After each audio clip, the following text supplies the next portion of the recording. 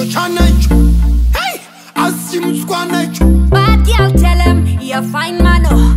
Big things he got a dynamo. Iwe guys and welcome back to my YouTube channel. If it's your first time here, hi, my name is Ashley and I'm God's favorite child. Vibes. If you're a returning subscriber, thank you so much for coming back. At this point, a part of the family. Like you are my sister, you're my brother, you're my cousin, you're my sibling. For today's video, you see, I'm sitting down. It's about to be a story time. A lot was going on here. A lot was going on. my boarding school experience. Would I go back? Never. I'm never going. If anyone asks me to go back to that place, never. I'll never go back. Do you want me to die of depression? What do want me to die? never in a million times I would ever choose this experience ever again. I would. What I. I hated it, guys. I hated boarding school. I hated it. I hated it. That's all I'm gonna say. I hated it. The cameras, because I'm just. I hated it. That's all you have to know. First things first, I'm going to highlight that it wasn't my first time going to boarding school. I was once a grade 1 to grade 4 and I loved that experience. Possibly because I was still young, I was still an infant, I was still a child, you know. And nothing was really deep there. Nothing was really emotional. Nothing was personal. Nothing was beefy, you know. But it's fine. And I heard that I was going for boarding school. I was so excited. I'm not gonna lie, I was excited. I was over the moon. I was I expected vibes upon vibes. I expected to be amazing. I won't even lie. I expected what I what I experienced when I was in junior school, you know. But then people in high school are pretty much evil and they don't care. So I guess I jinxed it. When I went to boarding school, guys, I thought I thought everything was going to be G. I thought people were gonna like me. The previous school I was at, people liked me, or maybe they were pretending. I mean, no, but people seemed like they liked me, guys. So when I went there, guys, I had this perception that people going to like me. Yeah. Hi. Chai. Total opposite. I think majority of the people didn't like me and you could just feel it. You no one you know people don't have to say they don't like you. People can show that they don't like you. Yeah the saying action speaks louder than words. What what you'll be just saying oh well guys. Hmm. I thought people were gonna like me. And guess what? They didn't like me. You heard me right? They didn't like me. And they really showed they really did the most. They went out of their way to show they didn't like me. That was boarding school. I experienced a lot of scenarios where certain staff members used to talk about me negatively. I experienced so many scenarios and majority of the time I was innocent. Like major majority of the time I was innocent in boarding. Like I know when I'm wrong, guys. I can feel it in the in the inside. Over here, I really messed up. I know, but majority of the time I was innocent. This teacher, they went to the principal okay he was the person wasn't principal but then they were like in that hierarchy you know? And then they said so many nasty things about me that were so false. They really did the most guys. They went and then they were like um ashley is bullying kids. Yo ashley is uh she's challenging the system. Well of course as an art student i did challenge the system sometimes but then in this scenario i didn't Ashley's challenging her system, Ashley's disrespecting her peers, she's no respect for me. Yo, yo, yo, yo, she was really ranting out there, doing the most for herself, shame. She was really, you know. And I remember the time when I was actually shouted at for that, guys. I was shouted at for that. Hmm. Firstly, like I said, staff members did the most. They really spoke about me negatively a lot, and I didn't really like it. I felt like, you know, when you go for, you know, when you go to boarding school, you expect, you expect like, um, it to be like your second home but it was like i was it was hell on earth i was like i was in hell. But i really didn't like it because i honestly felt like as a teacher right you're supposed to look out for me as like your second uh, temporary child. But here you are doing the most you know trying to make my life hell. Was that what you're employed for ne? like was that is that in your job description? Because as far as i'm concerned it's not. And making someone's life miserable is not in your job description. As bank beds A bank beds. I felt as though I was sleeping on metal. Metal, guys, do you know how that how painful that is? Sleeping on metal. It's as if you're sleeping on concrete. That's how painful it was. Sometimes you'd sleep and it's as though like you're having nightmares and you're not even yet sleeping. Like you just close your eyes and you can already see monsters in like under your bed and you can already just it was just so uncomfortable. The the bunk beds were terrible. They didn't have like they were just they were made of metal. You know how like other bunk beds are made of like wood, right? Ours were made out of metal.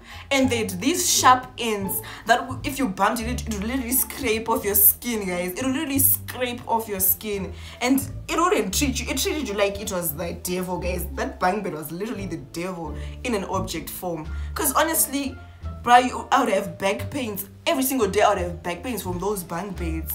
You cannot make a bunk bed out of metal and then you leave the edges sharp and pointy and then they've got that crusty thing at the end that can literally scrape off someone's whole skin out. I hated like this whole thing of meeting new people.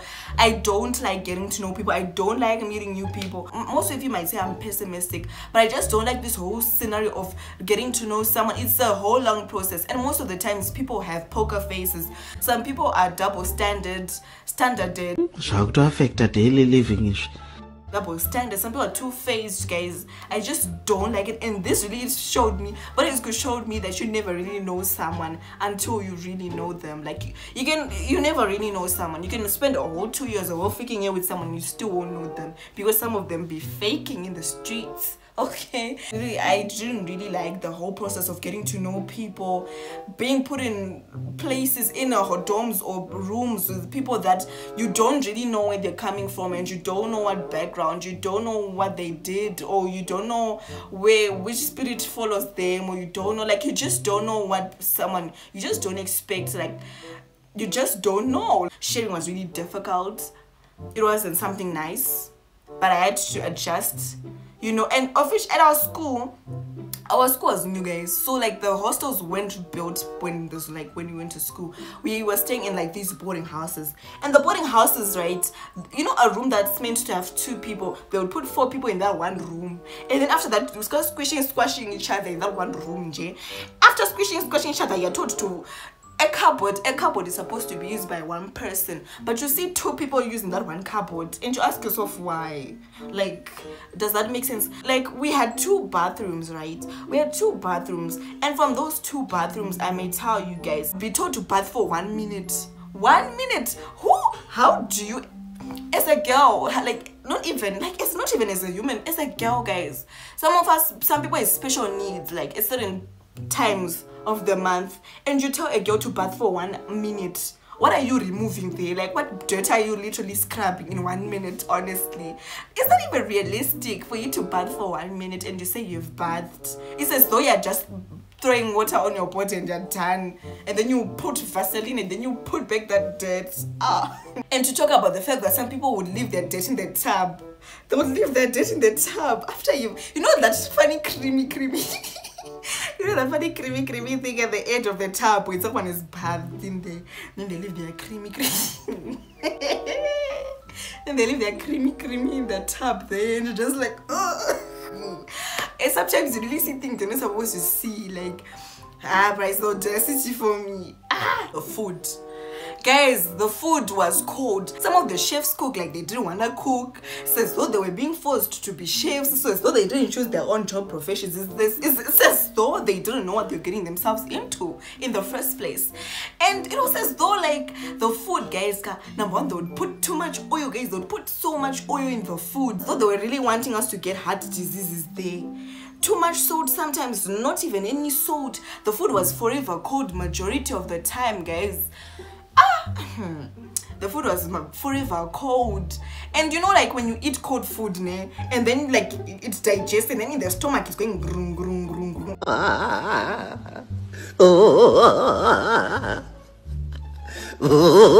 over here like and then the stomach and then oh, the, it's like at the tip tip at the top of the stomach you can feel the cold of the like now it's like as though you're forcing your stomach to hit the food inside the stomach because the food is just cold. Then you hear the stomach going grum, grum. it's really fighting to digest and your stomach is saying i don't want this cold food and you're really forcing the food to digest there ah, I that was that was emotional and biological abuse. Oh ah guys the cold food. Sometimes like the food would be hot right? But the majority of the time like people like you know when they say supper is served at six o'clock? Then you now like then the food is dished right? And then now you're waiting for people who are busy modeling to the dh they're modeling to the dh they're modeling to the dining room. And then now by 6.15 they now come and it's now time to eat. And now the food is cold guys. And now everyone needs to suffer because some people are just really slow. They're just so slow in things i really didn't like that. People were just so audacious guys. People were just so tenacious. They're just so like they're just so daring about certain things that are not relevant. You know there's certain things you can really challenge right? But there's just certain things that you just see are like just so irritating. And personally like majority of the time right i had beef with most of the people in in, in boarding school right? I had beef with a lot of people. And you know just seeing someone's face every day and you know you don't like seeing their face you don't like their face number two. You don't like them number three. You don't like the, their their voice or you don't like whatever they do guys. You get so irritated because you, you just don't want to have anything to do with it but you got no choice because you're staying they are staying in the same lodgings. And it's just one of those like oh well it's your choice. It's not my fault. Like it's you know the vibes. I really met really special individuals. When i say special special individuals guys i mean special individuals. There are certain individuals that really did the most when it came to being rude when it came to lying when it came to fakeness guys when it came to pretending when it came to manipulation when it came to gullibility guys. There were so many people that were doing the most ministers you know they were part of the secret service you know they were the ones who were ceos of spying you know.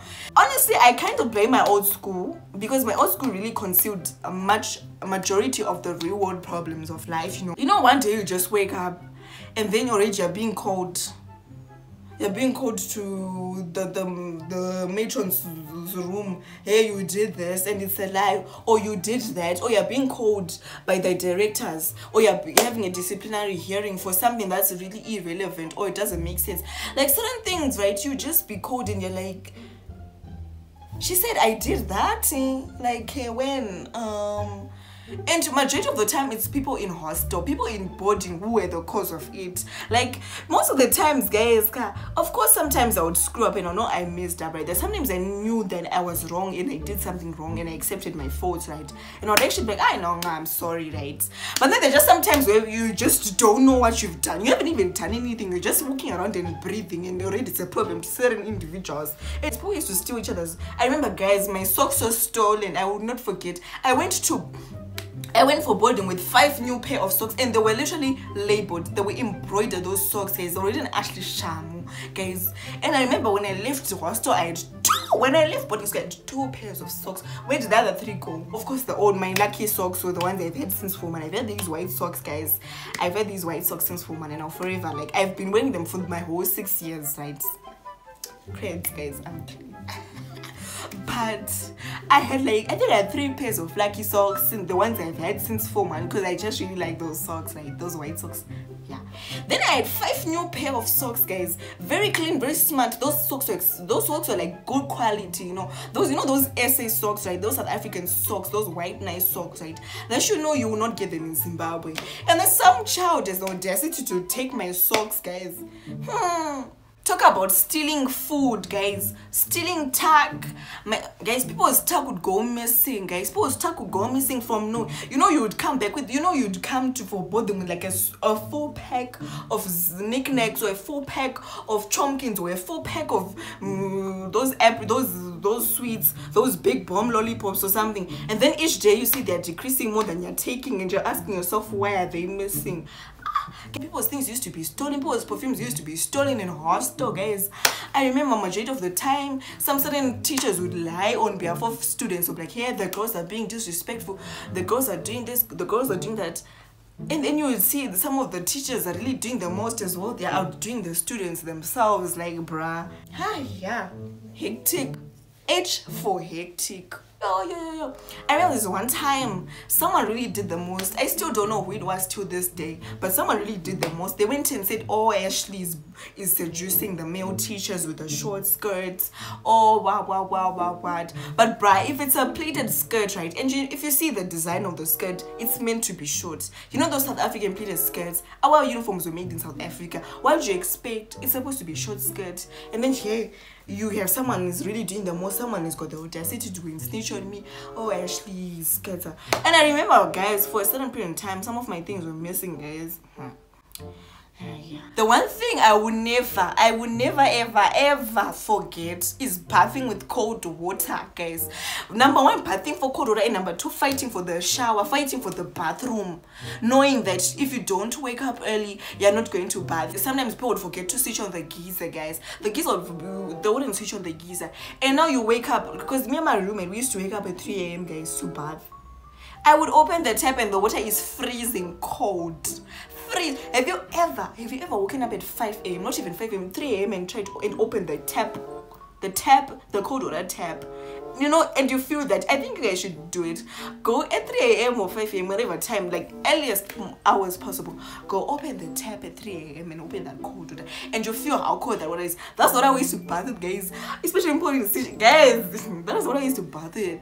But in some of us, guys, our body is really sensitive. The moment you bathe with cold water, you're already having a flu, you're already have a cold.